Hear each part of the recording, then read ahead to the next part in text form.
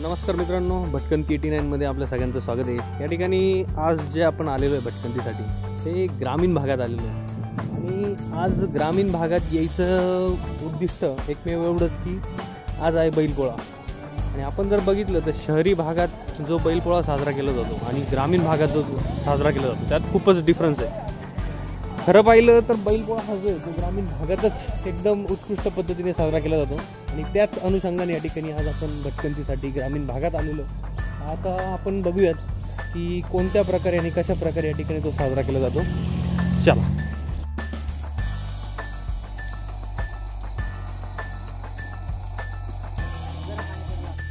तर हे आमचे मामाश्री आपण त्यांच्याकडनंच दोन शब्द जाणून घेऊ की नक्की बैलपोळा हा जो सण आहे तो ग्रामीण भागात कुठल्या पद्धतीने साजरा केला जातो?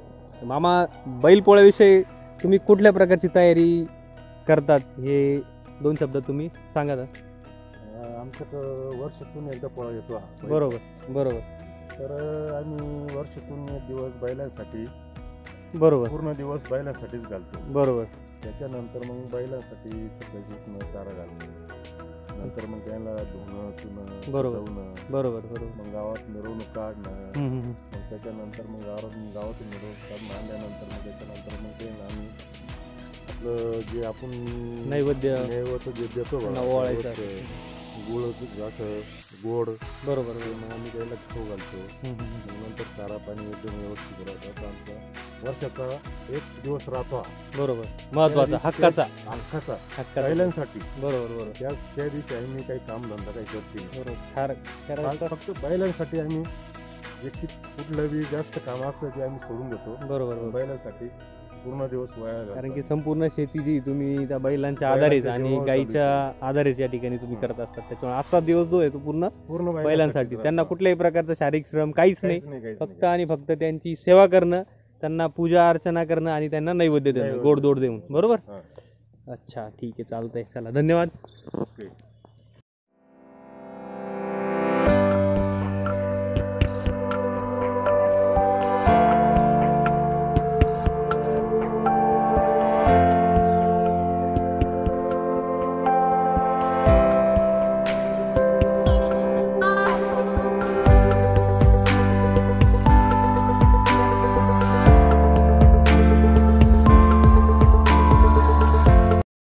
आपण बघू शकतो या ठिकाणी आपण ग्रामीण भागात तर आलेलोच आहे. ग्रामीण भागात म्हणण्यापेक्षा की मामाच्या गावाला या ठिकाणी मी आलो आहे आणि जो हिंदू सण आहे मग तो बैलपोळा असेल किंवा होळीचा सण असेल तो जर आपण खेडेगावात जर येऊन बघितला तर ती जी साजरी करण्याची पद्धत आहे ती काहीशी वेगळीच असते. आता हे आपण मागे बघू शकता की हे माझे मामाचे मुलं आहेत ते येऊ राहिलेत. आणि ज्या पद्धतीने बैल सजवले गेलेत आता आपण बघूयात. की ह्या ठिकाणी जेवढे पण बैल आलेले आहेत ते त्या त्या शेतकऱ्यांनी वेगवेगळ्या पद्धतीने या ठिकाणी त्या बैलांना सजवलंय. आपण ते बघूयात आता.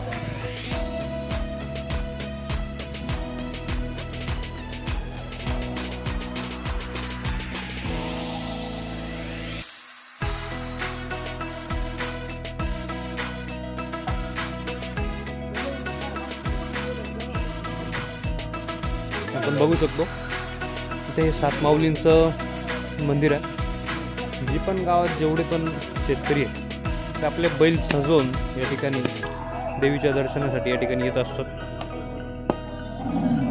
प्रत्येकाने आपापल्या पद्धतीने या ठिकाणी बैलांना वेगवेगळ्या पद्धतीने सजवलं आहे आणि सजवून या ठिकाणी देवीच्या दर्शनासाठी या ठिकाणी आणलं जातं. आणि इथे एक फेरा मारून या मंदिराला एक या मंदिराला एक फेरा मारला जातो.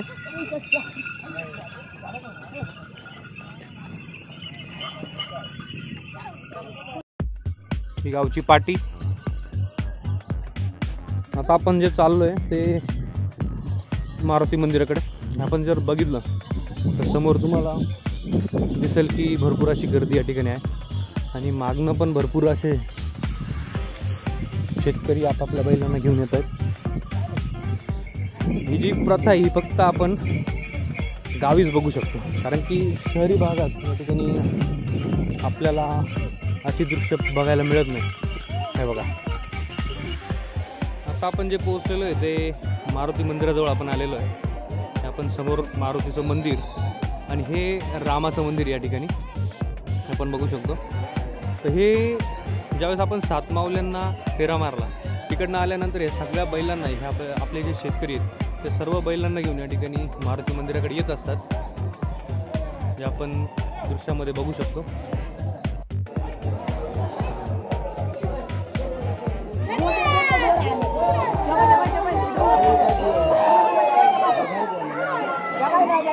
cái đầu